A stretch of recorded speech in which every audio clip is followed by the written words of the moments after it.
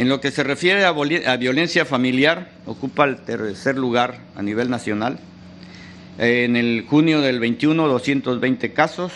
Y sí es un delito que tiene cierta tendencia a la baja y pues no es que querramos justificarlo, pero a nivel nacional la pandemia ha, de una u otra manera ha ayudado a que este delito pues tienda a la, a la alta en muchos estados.